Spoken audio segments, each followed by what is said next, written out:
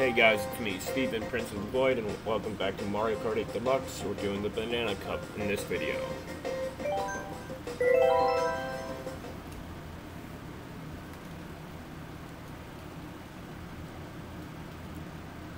So I'm going to try doing all the videos in one day and then uploading them every so often. So we're starting off with GCN Dry Dry Desert.